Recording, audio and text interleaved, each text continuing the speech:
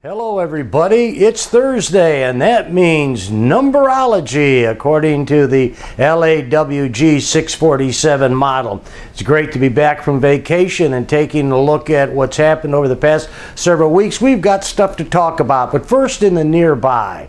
This Friday, if Dees Cotton closes at or below 63.63, which is about a buck 25. Uh, below where it was trading when uh, as we came in here for filming. Again, at or below 63.63, Dees Cotton goes bearish according to our model.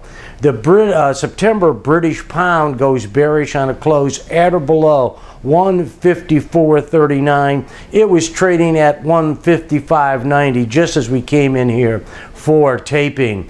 Now take a look at uh, last week while I was on vacation. A lot of stuff did happen uh, of, uh, of noteworthiness.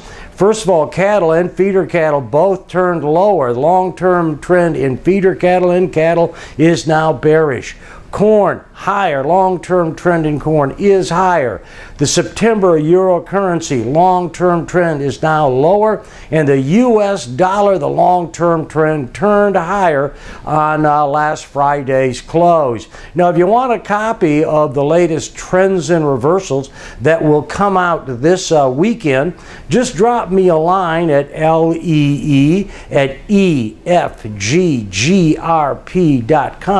That's lee at efggrp.com, and I'd be more than happy to send you a copy of the latest trends and reversals that has all these numbers and reversal points and trends and what you might want to look at. No obligation, happy to send you a copy.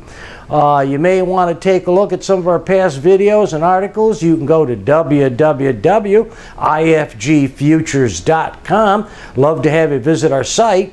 And always keep in mind if you're going to trade futures, spreads, or options on futures, it is risky and you must be aware of the risk you are assuming before you enter into any type of trade of commodity futures. Hey, this has been Lee Gaus coming at you from the offices of EFG, IFG here in Chicago. Have a great uh, trading day, a great trading Friday, and have a great weekend.